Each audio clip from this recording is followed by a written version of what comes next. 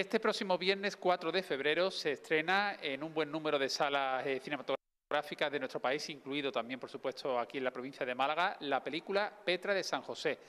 Una superproducción con una, eh, historia súper interesante y además muy vinculada a nuestra provincia, porque eh, precisamente cuenta la vida de esta beata, de Petra de San José, nacida en Valle de Adalajís.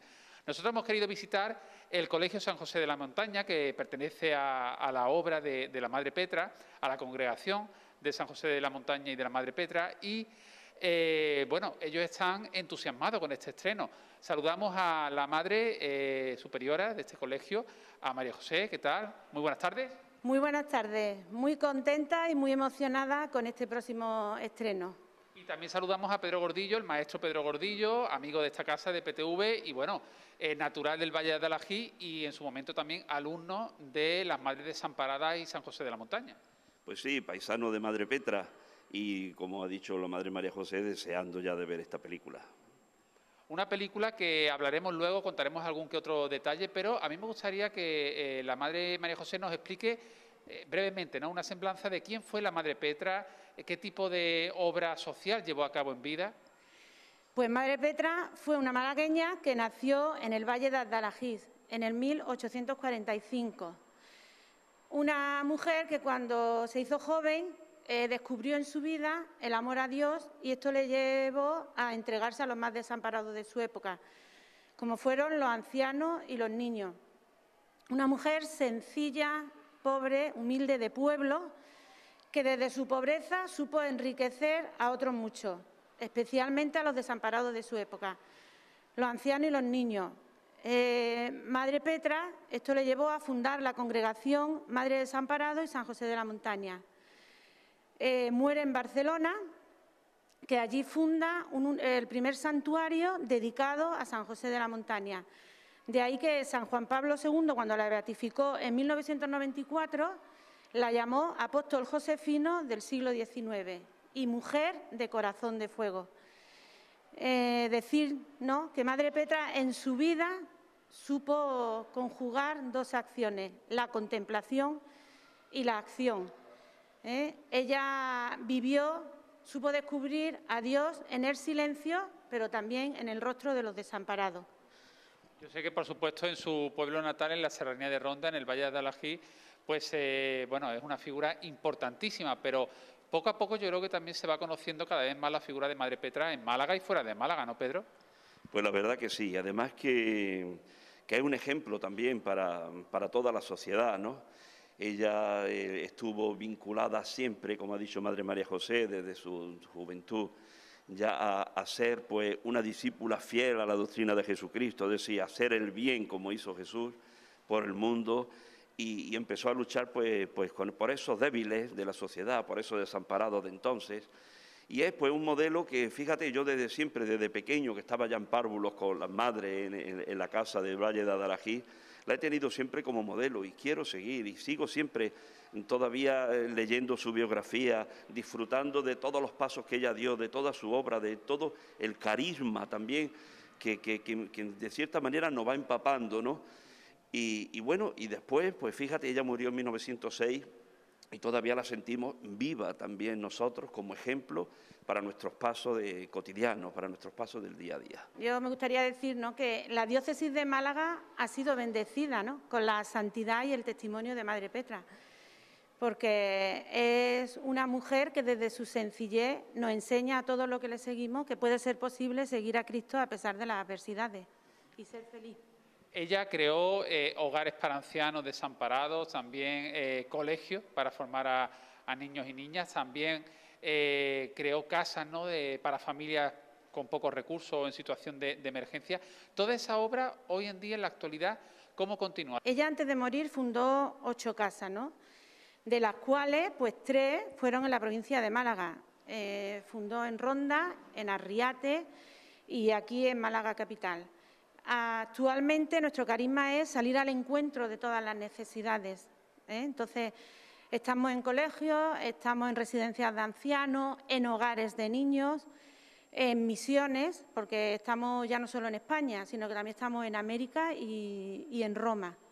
¿eh? Y en concreto, en esta casa que nos encontramos ahora mismo, tenemos dos apostolados.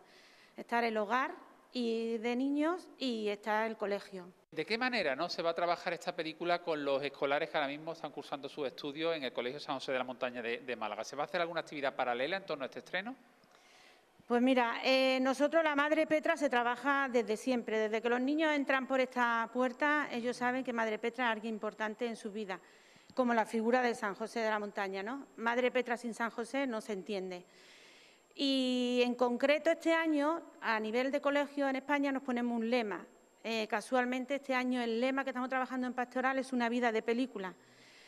Y entonces, desde los inicios, que en octubre celebramos la, vida, la fiesta de Madre Petra, ya se trabajó a Madre Petra como personaje principal de una película.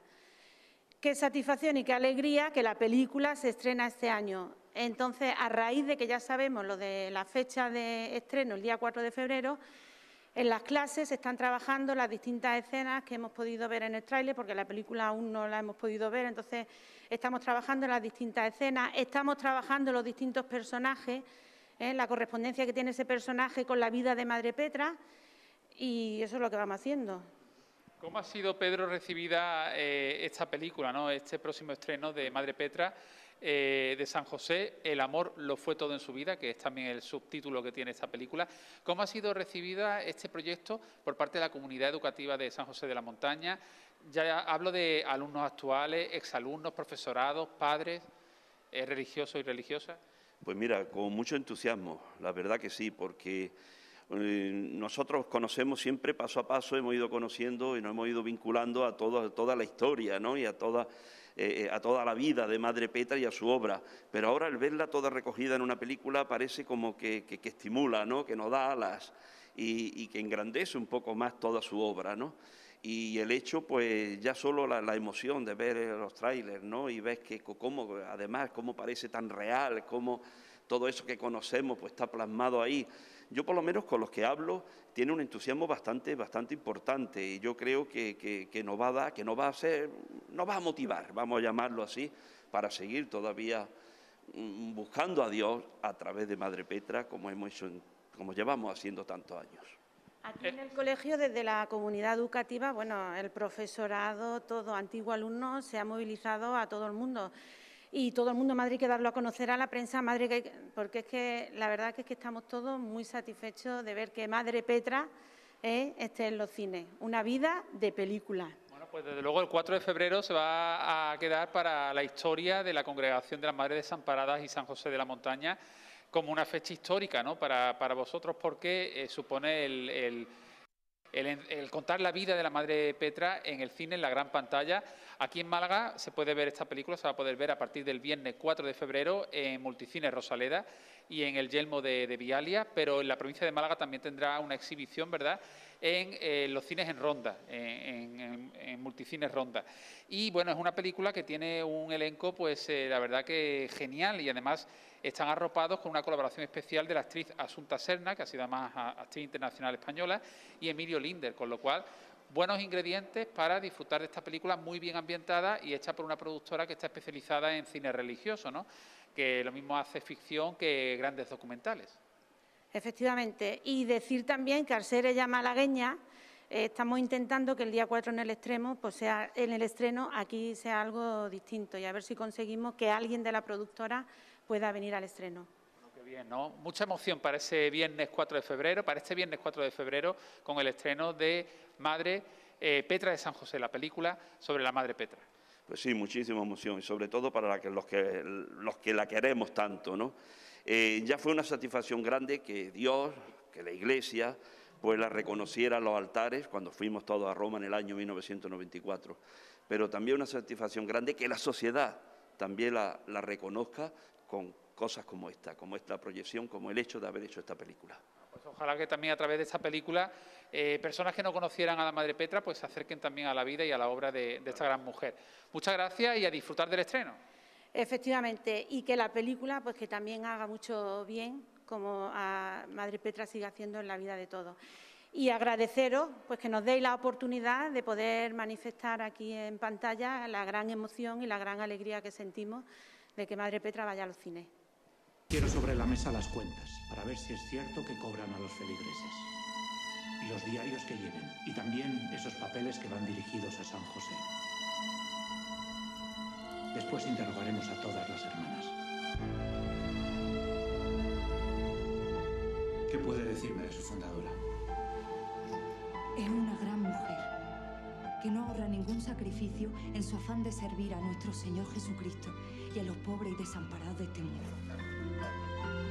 ¿Por qué llora? ¿Cómo no voy a llorar? Si una mujer extraña me está haciendo lo que nunca me han hecho mis hijos. La caridad armonizada con la justicia debe estar por encima de la ley. Quiero consagrar mi vida. Deseo profesar como religiosa.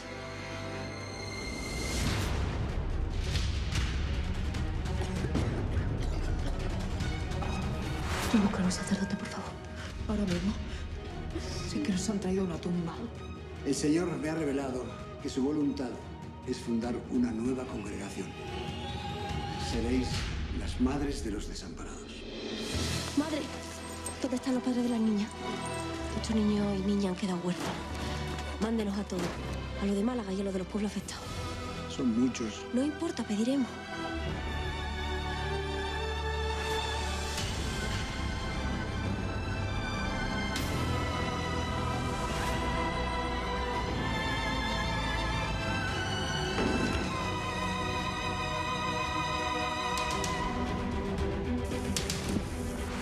¿Qué busca usted, Nora? La caridad cristiana. Dígame lo que viene porque aún no me ha quedado claro quién es usted. Mi cara dice quién soy.